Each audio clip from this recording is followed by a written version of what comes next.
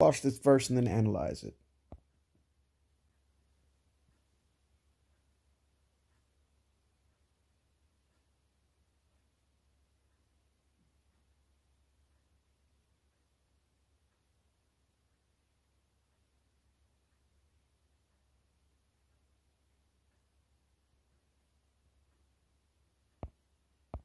Okay, let's go back here.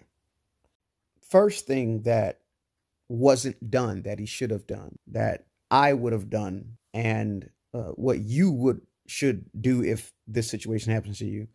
As soon as this car does what it does, as soon as it backs up and stops right there, you need to immediately at that point get ready to own the drop. You don't know what's going on. Uh, old lady might get out the car. You don't know, but that's the point. You don't know. So,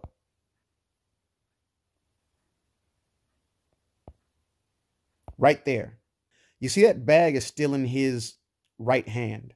At this point, that bag is going to my left hand, and my right hand is going to put myself in the most ready position to get to my gun as fast as possible without escalating the situation. So, not in a way where I'm actually holding the gun and it makes the situation worse but I'm going to grip my shirt or put my thumb under my shirt so that I can get to my gun quicker. So he's behind the ball here.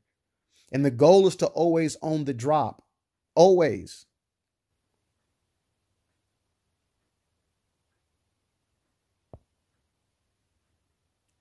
Look how long it takes.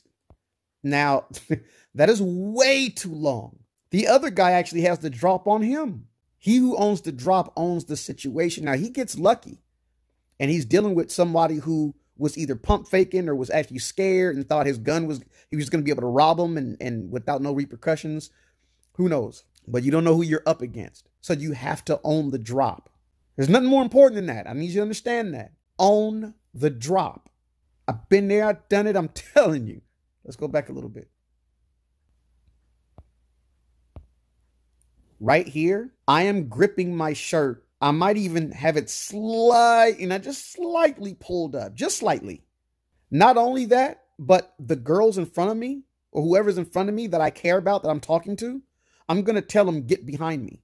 That's the other thing because I'm very protective. So not knowing the situation, I'm going to say get behind me and I'm going to be ready to own the drop. Right there. I'm talking to him at this point. What's going on? What's up, brother? To get a feel, testing their temperature. What's going on? Still ready to own that drop. I'm going to get to this gun faster. And I'm watching his hands. I'm hyper focused on his hands. Right there. That little jerk that he did right there, I'm already punched out. As soon as that jerk happens, gun's drawn immediately right there. Gun is drawn right here. No ifs, ands, or buts. Very, very much behind. So that's where he went wrong, but luckily he survived the situation and and and and dominated the situation. He didn't dominate it, but he won it. He survived it. Uh, but it could have been a lot worse for him. Own the drop.